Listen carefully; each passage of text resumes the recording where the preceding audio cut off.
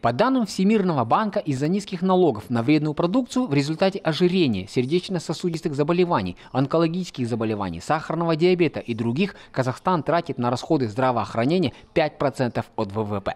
Другими словами, страна теряет 2,3 триллиона тенге в год. И это отражается на показателях преждевременной смертности. So alcohol and tobacco should be increasing. По алкогольной продукции, табачным изделиям как минимум на 10% нужно повысить налог, чтобы компенсировать растущую ценовую доступность. По сахаросодержащих напитках мы исследуем возможность введения налога, который будет как минимум 20%. И действительно, налоги на табачные изделия, алкогольную продукцию в Казахстане намного ниже, чем в других странах, а, поэтому вероятно, что и потребление здесь выше, чем в других странах. В тех телеканалах, которые больше всего да, смотрят, допустим, дети, балапан, да, и так далее.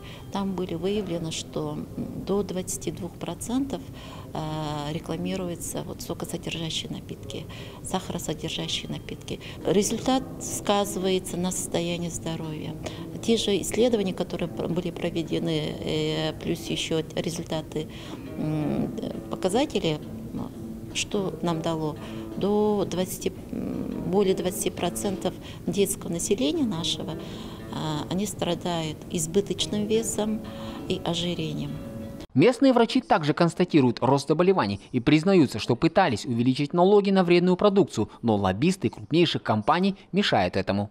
Подготовлено предложение для включения да, в Кодекс о здоровья народа системе здравоохранения о том, чтобы повысить налог, снизить рекламу, да, убрать, допустим, с тех мест, которые на уровне глаз детей, допустим, табачные изделия и так далее, провести маркировку вот этих продукций, которые содержат вот, больше сахара, трансжиров и так далее. Но на сегодняшний день часть наших предложений, конечно, не прошли. Это, э, с одной стороны, это активное противодействие, но идет со стороны производителей. Введение налога на сахаросодержащие напитки выгодно для общественного здравоохранения и для экономики. К примеру, по данным Всемирного банка, Казахстан может увеличить налоги на 182 миллиарда тенге. И это только на напитках. А есть еще целое поле на рынке сигарет и алкоголя. Но пока в Казахстане налоги низкие, а производство вредной продукции растет. Особенно напитков энергетиков, отмечают зарубежные эксперты. Бауржан Шейхмед, Ахмедяр Ильясов, столичное бюро ТДК-42.